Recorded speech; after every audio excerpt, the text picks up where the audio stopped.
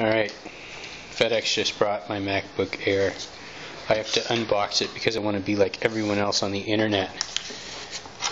So, yeah, this is what we're doing. So I already broke the seal, I guess, with the knife. And they mailed me this thing.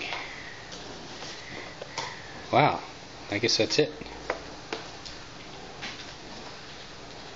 Huh, okay. kind of expected like the whole like box and stuff. Um, so yeah, there's the machine, the device.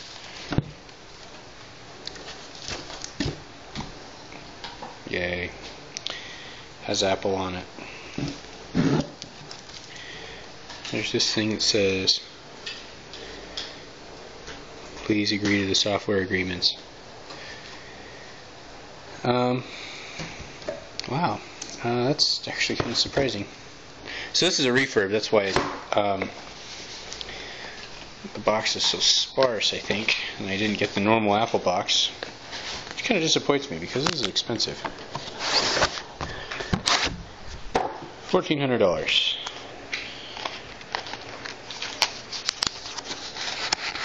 There's this magical envelope of wonderfulness. Hello.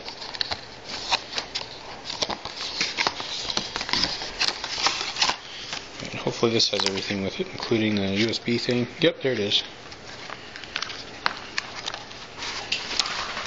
There's, yeah, just all the usual stuff. So yeah, wow, that was easy.